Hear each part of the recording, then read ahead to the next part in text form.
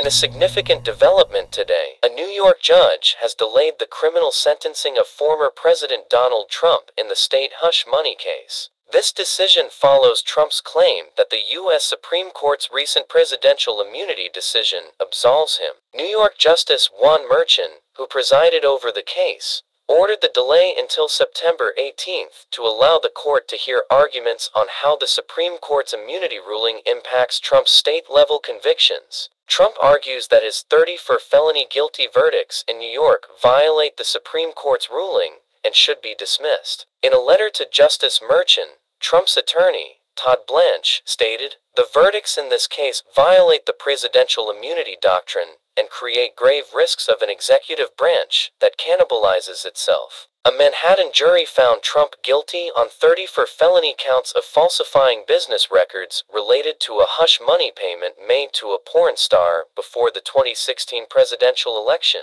Manhattan District Attorney Alvin Bragg has agreed to a two week delay in Trump's sentencing, acknowledging the court's need to consider the immunity argument. Trump's legal team has until July 10th to submit their argument, with Bragg's response due by July 24th. Justice Merchan had originally scheduled sentencing for July 11th, just before Trump's anticipated nomination as the Republican candidate for the 2024 presidential election. The new sentencing date is now set for September 18th less than two months before Election Day. The Supreme Court recently ruled that former U.S. presidents have absolute criminal immunity for core constitutional powers, but are not immune from prosecution for unofficial acts. This decision has returned the 2020 election interference case to the lower court to determine whether Trump's actions were official or unofficial. Blanche has requested that Justice Merchan set aside Trump's guilty verdicts based on this ruling,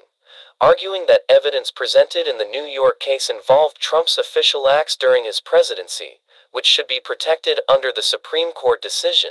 The New York case focused on actions Trump took during his first year in office, including an Oval Office meeting to discuss financial transactions with his former attorney, Michael Cohen. Evidence included nine checks signed by Trump, used to repay Cohen for a $130,000 payment to Stormy Daniels, which was falsely recorded as legal expenses. As this legal battle continues, we will keep you updated on all developments. I'm Mark Gordon and this is World Update News. Stay tuned.